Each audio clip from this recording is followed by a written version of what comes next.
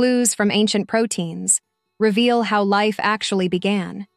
The genetic code's development, determining protein synthesis, might have followed a different sequence than previously thought.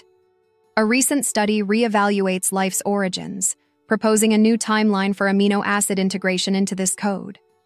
This sequence is essential in understanding life's beginnings. Professor Joanna Masel and her University of Arizona team devised a novel method to identify the order of amino acid incorporation into the universal protein making system.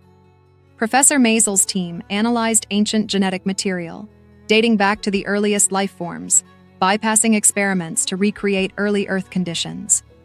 They focused on genetic patterns shared by primordial organisms, these protein segments are crucial for life processes and reveal insights into biology billions of years ago. The study found simpler amino acids were utilized initially, with complex ones incorporated later. Professor Masel's team identified genetic systems predating the universal ancestor, indicating early life experimented with protein synthesis. By categorizing protein parts by age, they found glutamine's late genetic code addition challenges prior beliefs ancient proteins displayed unusual amino acid levels, such as tryptophan and tyrosine, hinting at different historic genetic structures. Sulfur and metal based amino acids' significance could point to extraterrestrial life.